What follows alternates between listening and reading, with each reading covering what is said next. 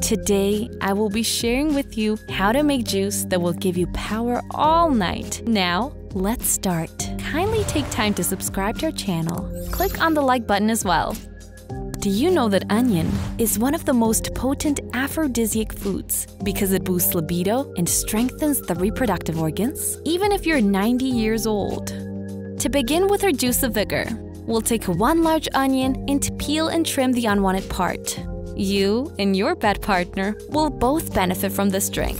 I promise. The consumption of onions has been shown to increase testosterone levels. After that, use a grater to shred the onion altogether. Be careful not to hurt your hands while you're doing it. The benefits will be incredible if you use a red onion, but a pinkish onion will still work. Antioxidants, quercetin, and anthocyanin found in abundance in red onions have been shown to improve erectile function in men. Once finished, the opinion will be available to you in paste form. Now, fill a jar with 250 milliliters of water. You can adjust the amount of water to your liking. Please put all of the onion paste in there and give it a good stir. Bravo! You've completed half of the work. Greetings, pals, and thank you for joining us on our channel. Now, set the jar aside for 30 minutes to allow the water to absorb the onion juice. After waiting 30 minutes, we will retrieve the jar and give it a thorough stir before moving on. Kindly take time to subscribe to our channel. Click on the like button as well. Next, you'll require a filter or a cheesecloth, which you'll use to separate the onion juice while leaving the pulp behind.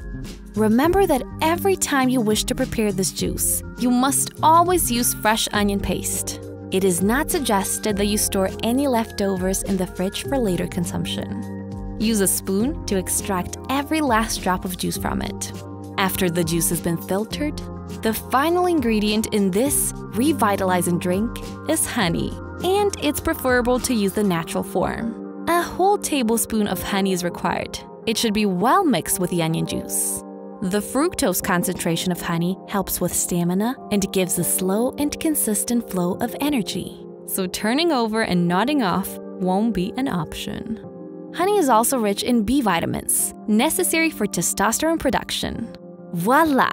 The juice is ready to be served and should be consumed at least an hour before kickoff. Hit the like button and subscribe to our channel to let us know you liked the video.